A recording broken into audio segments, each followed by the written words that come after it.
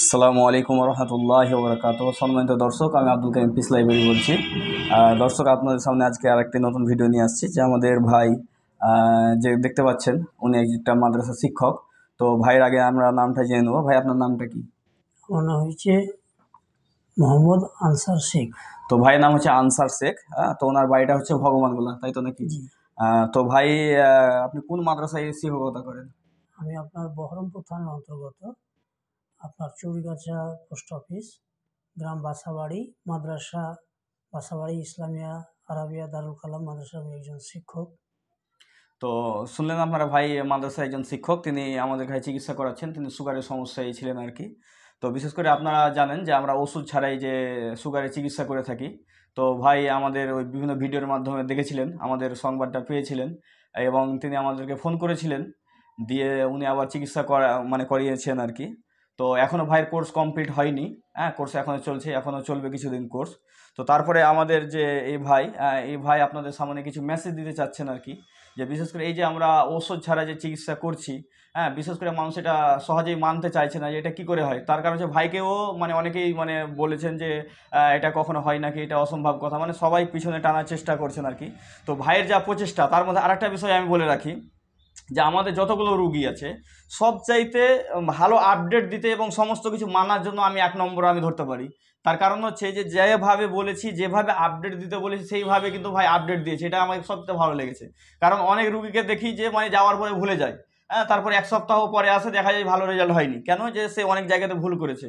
তো আলহামদুলিল্লাহ, এই ভাই যেভাবে উনি মেনেছেন, যেভাবে বলে দিয়েছিলাম, সেটা অকল্পনীয়। মানে এটা কেউ করে না, এটাই আমার কাছে প্রথম হ্যাঁ তো এ হচ্ছে মানে সে, ভাই তো আপনাদের সামনে আজকে কিছু বলবেন আর কি? তো ভাই, আপনি মানে বলেন এই ব্যাপারে কিছু নিয়ে। হ্যাঁ আমি গত প্রায় দু বছর থেকে, উনিশ সাল থেকে আমি জানুয়ারি মাসের দশ তারিখে আমার সুগার প্রথম ধরা পড়ে। সেখান থেকে প্রায় পাঁচ, ছ মাস ওষুধ খেয়েছিলাম, খাওয়ার পর আমার একটা ভুল রিপোর্ট হয়েছিল। সেই ভুল রিপোর্টকে সামনে রেখে আমি ব্যাঙ্গালোর পর্যন্ত গিয়েছিলাম। ব্যাঙ্গালোর থেকে ওখানকার ডাক্তাররা দেখাশোনা করার পর ওখানে রিপোর্ট করে বলল যে, না, আপনার যা সুগার আছে, এখন ওষুধ খাওয়ার দরকার নেই। তবে আপনি এক্সারসাইজ করলে বা হাঁটা চলা করলে মোটামুটি আল্লাহর রহমতে ঠিক থাকবেন। আর যদি সেটা বন্ধ থাকে, তো এক বছর পর সুগার আপনার বাড়বে বা হয়ে যাবে।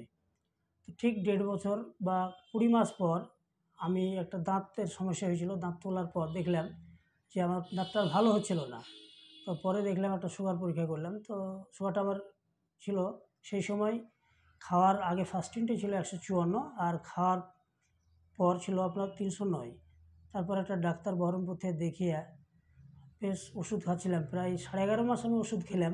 ওষুধ খাওয়ার পর এখানে আসার পূর্বে, এই ভাইজানের কাছে আসার পূর্বে আমি একটা রক্ত পরীক্ষা করেছিলাম খাওয়ার আগে এবং পরে।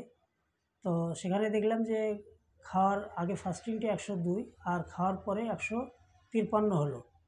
ওষুধ ট্যাবলেট খাওয়ার পর, তা তারপর আমি এনার সাথে যোগাযোগ করে এখানে আসি। আসার পর সেখান থেকে ইনি যেভাবে বডি স্টাইল লাইফ স্টাইল যেটা করতে বললেন বা যেগুলোকে মেনটেন করতে বললেন, আমি আল্লাহর রহমত এটাই বলতে পারি যে আমি সাধ্য মোতাবিক নাইনটি নাইন পার্সেন্ট চেষ্টা করেছি সব কিছুই পালন করেছি। আর কোনো সময় ছুটে গেলে সেটাকে আবার পুনর্বার করে আমি সেটাকে পূরণ করার চেষ্টা করেছি। তো যাই হোক, তারপর আমি প্রতিদিন রক্ত রিপোর্ট করেছি। তো প্রথম দিন আমি এখান থেকে যেদিন শুরু করি রিপোর্ট করতে বা বডি স্টাইলের যে আমাকে নিয়ম তালিকা দেওয়া হয়েছে, সেই নিয়ম যেদিন পালন করতে শুরু করি, সেদিন আমার প্রথম কথা হচ্ছে যে সব কিছু আমার নর্মাল রিপোর্ট এসছে। ফাস্টিং ছিল আমার ছিয়ানব্বই আর খাওয়ার পর পিপিটা ছিল আমার একশো চার। তারপরের দিন থেকে যতবারই যাই মেপেছি প্রতিদিনই আমি মাপতাম এবং রিপোর্ট পাঠাতাম ভাইজানকে। ভাইজান রিপোর্ট দেখে খুব খুশি হয়েছেন এবং আমাকে বলেছেন যে, ঠিক আছে, এরকম রিপোর্ট অত কালকে হয়তো আর করতে হবে না, আগামী পরশু দিন করবেন এভাবে করেছি। এবং ফাইনালি গত কালকে, অর্থাৎ বৃহস্পতিবার, গত বৃহস্পতিবার দিন আমি মেপেছি ফাস্টিং এবং পিপি তো তাতে আমার রিপোর্ট এসেছে একাত্তর, খাওয়ার আগেরটা ছিল একাত্তর এবং খাওয়ার পরেরটা হচ্ছে আপনার চুহাত্তর তবুও আমার শরীর খুব সুস্থ আছে, কোনো দিক থেকে আমি কোনো প্রবলেম সেভাবে বুঝতে পারছি না এবং আগের থেকে অনেকটা আমাকে ভালো লাগছে। মানে আমাকে হেলথলি মনে হচ্ছে, নিজেকে স্বাস্থ্য সুন্দর থাকলে বা আপনার সুগঠিত স্বাস্থ্য থাকলে যে কোনো সেরকমই মনে হচ্ছে। অতএব আশা করি যে ইনশাল্লাহ আল্লাহ চাইলে আগামী যে নিয়ম পালন করলে হয়তো ভালো হয়ে যাব। অতএব যিনারা হয়তো এরকম অসুস্থতায় ভুগছেন বা অনেকেই আমাকে বলেছিলেন, পিছন টান, যে হয়, ভালো হবে না অমুক তমুক বা আমি যখন রমজানের মিডিল পয়েন্ট থেকে, সতেরো আঠারো হাজার থেকে এই রিপোর্টগুলো ভাইয়ের আমাদের একটা আশ্রনা বলে একটা গ্রুপ আছে, সেই গ্রুপে এগুলো আমি পেতে আমার দেখতাম। তা আমি ভাইয়ের সাথে আসার জন্য কয়েকবার যোগাযোগ করেছিলাম। তাতে আমার হয়তো অনেক অসুবিধার কারণে আসতে পারিনি। মনের ভিতরে আমার এতটুকুই প্রশ্ন জাগতো যে বহু টাকা তো আমি বহু জায়গায় খরচা করে ফেলেছি। সুগারকে কেন্দ্র করে আমি ব্যাঙ্গালোর গিয়ে বাইশ তিরিশ হাজার টাকার খরচ, আরও আউট মাসে মাসে দু পাঁচশো টাকার ওষুধ খাই। তা আমার তো বহুত পয়সা চলেই গেছে। সে অতএব সেখানে যদি আমার দু তিন হাজার টাকা চলে যায়, তাতে আমার আপত্তির কিছু থাকে না। অতএব আমি একবার যেই দেখি, যদি আল্লাহ চায় ভালো করে, তাহলে আর বাকি ওষুধের বোঝাটা আমাকে বইতে হবে না কাঁধে করে।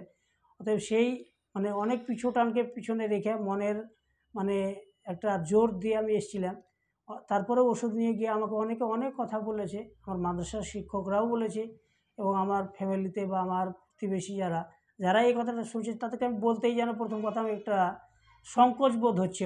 মানে একটা কথা বলতে গেলে যে স্বতঃস্ফূর্তভাবে মানুষকে একটা আনন্দের সাথে বা আগ্রহের সাথে শোনানো হয় বা বলা হয়, তাতে একটা নিজকেও শুনতে যে শুনে তাকেও ভালো লাগে শ্রোতাকে এবং বলতে যিনি বলা, বক্তা, তাকেও ভালো লাগে।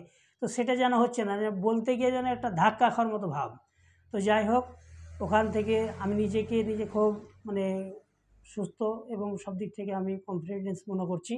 কিন্তু যেনারা হয়তো এটা বলছে, আমি তাদেরকে একটা কথাই বলতে চেয়েছি যে হয়তো অনেক এরকম কথা বলেছে যারা হাতে এক মাসের ওষুধ খাওয়ার পর, ভিডিও করার পর আর তো করছে না, তা, তাদের সাথে যোগাযোগ হচ্ছে না। তারা যদি বলে ভালো হয়েছে, তাহলে বিশেষ করে একটা জায়গা তৈরি হবে। তা আমি তাদেরকে একটা কথাই উত্তরে বলতে চেয়েছি যে, এক মাস পর তো আজ যখন পনেরো দিন হলো, আবার পনেরো দিন পর যদি এক মাস পূর্ণ হবে, আর এক মাসের কোর্স যেহেতু এটা, তো কোর্স কমপ্লিট হলে আমি নিজেই তো মানে এ ব্যাপারে সঠিক কথা বলতে পারব। তাহলে অতএব যখন সঠিক কথা বলতে পারব তখন আর দ্বিতীয় কোনো ব্যক্তির আমার সহযোগিতা বা তার সার্টিফিকেট নেওয়ার দরকার নাই যে তিনি কতটা মানে সুস্থ আছেন। আমি যখন সুস্থ থাকব তখন আমি ওনার অর্থাৎ এই ভাইজানের আমি পক্ষ থেকে প্রচারক হিসাবে কাজ করতে পারব বা আমি লোকে এতটাই বলতে পারব যে, না, এখান থেকে এইভাবেই সুস্থতা আমি অর্জন করেছি, অতএব তোমরা যদি যাও, শতকরা একশো পার্সেন্ট আশা করি আল্লাহ চাইলে তোমার তো ভালো হবে। অতএব আমি দ্বিতীয় কোনো মানুষের প্রতি ভরসা রাখছি না বা রাখিনি। আমি নিজের মনের জোরেই আমি এখানে এসেছিলাম এবং সেখান থেকেই আল্লাহ রহমতে এখন খুব ভালো আছি। আগামী দিনে ইনশাল্লাহ হয়তো ভালো থাকব, এটাই আশা রাখছি। আসসালামু আলাইকুম। তো সম্মানিত দর্শক, বিশেষ করে কিছু প্রশ্ন। যেমন ধরুন যে, অনেকেই জিজ্ঞাসা করেছেন যে, এক মাসের পরে আর তো ভিডিও করছে না। তো ভাই, আমাদের অলরেডি ভিডিও আছে, হয়তো তারা দেখতে পাননি ভিডিওটা।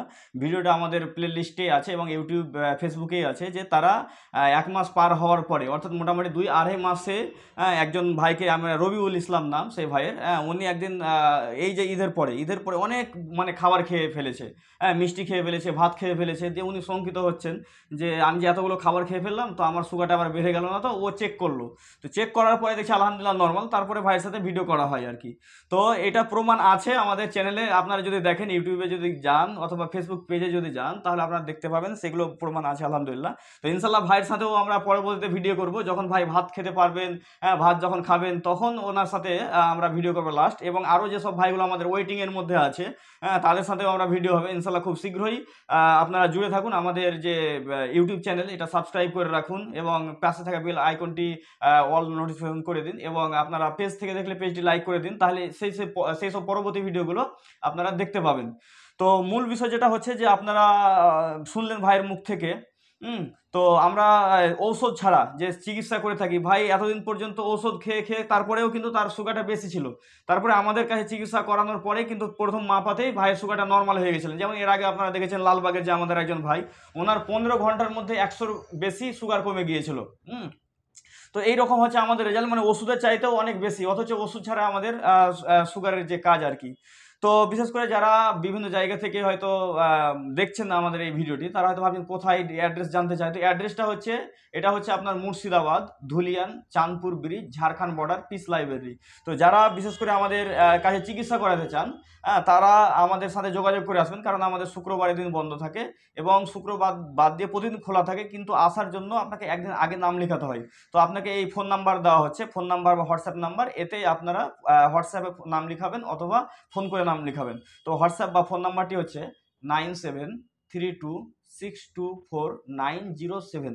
আমি আবারও বলছি, nine seven three two six two four nine zero seven এই নাম্বারে আপনারা যোগাযোগ যোগাযোগ করে নাম লিখাবেন একদিন আগে শুক্রবার বন্ধ থাকে।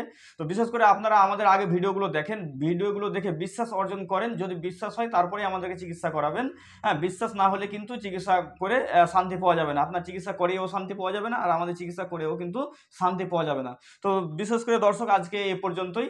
আমাদের আমাদের এই ভাই যে দ্বিতীয় ভিডিওর জন্য আপনারা ওয়েট করেন। ইনশাল্লাহ দ্বিতীয় ভিডিওতে উনি কি বলবেন এবং ওনার কি ফলাফলটা কি আসছে রেজাল্টটা কি আসছে আপনারা শুনবেন ওনার মুখ থেকে। হ্যাঁ এর জন্য আপনারা অবশ্যই আমাদের চ্যানেলটি সাবস্ক্রাইব করে রাখুন। তো আজকের ভিডিও এই পর্যন্তই। আসসালামু আলাইকুম রহমতুল্লাহ ওবরাকাতুহ